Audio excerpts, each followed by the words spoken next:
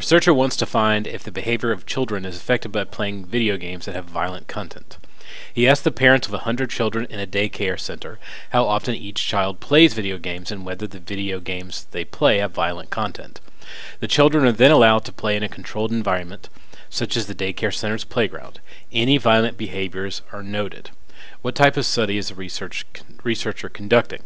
First off, the researcher picked specific people to be in his group and that's one of the components in the answer here.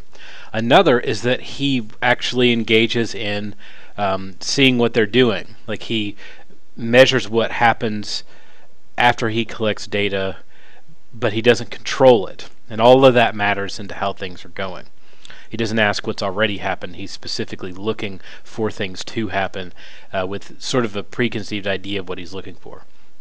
So, what type of study is a researcher conducting? Well, it's not a census because he picks a sample of a hundred, he the parents of a hundred children. So his sample is a hundred kids. A census would be everyone in the population, so he'd have to ask everybody about this. This is not a census. Uh, a sample survey would be doing. Uh, I let my kids play this many violent video games. This is what they do. It's almost a self-reporting scenario. So uh, people tell you most of the time. It's in like a questionnaire. So this isn't a survey because something actually happened and he watched what they were doing. It wasn't a passive collection of data. He's actively engaged in collection of data. So the real question is is it an experiment or is it just an observational study? And when I say just an observational study, I don't mean observational studies are somehow less than experiments, it's just not as controlled. The real difference between an observational study and a experiment is that in an experiment you set groups ahead of time uh, and have apply very specific rules to them and essentially you have a control group.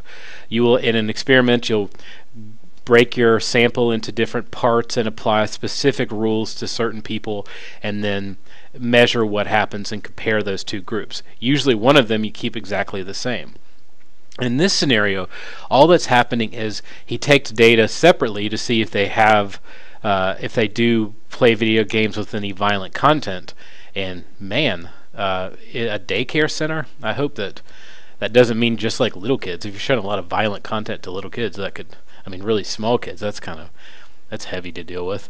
Anyway, but he's not actively engaged in controlling what happened on the front end. He's not saying, "Hey, parents of these hundred kids, I want you 50 to make your kids play violent video games, and then you 50 not, and then we'll compare them." He doesn't set his he doesn't stack the deck in a way so he can analyze what's going on. He takes the deck as it comes to him, which makes this officially an observational study and not an experiment. What would he need to do to get all of the any of these three to work?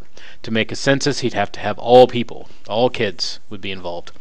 Uh, if he wanted to be an experiment, he'd have to control the in, uh, the input groups or the groups before he started doing his research. So he defined specifically you are the ones who represent this, you are the control group who don't watch video games. So he's changing something that wouldn't happen naturally observational study, he's letting things go as they normally would and just kind of taking the results and comparing them. And in the sample survey, he would uh, almost the uh, difference is he would be less actively involved. He would be collecting data provided to him by the um, sample of people, not just he gets questionnaires because he's actually measuring children. He just uses their parents as a, a point of getting the survey in. So he's doing an observational study here.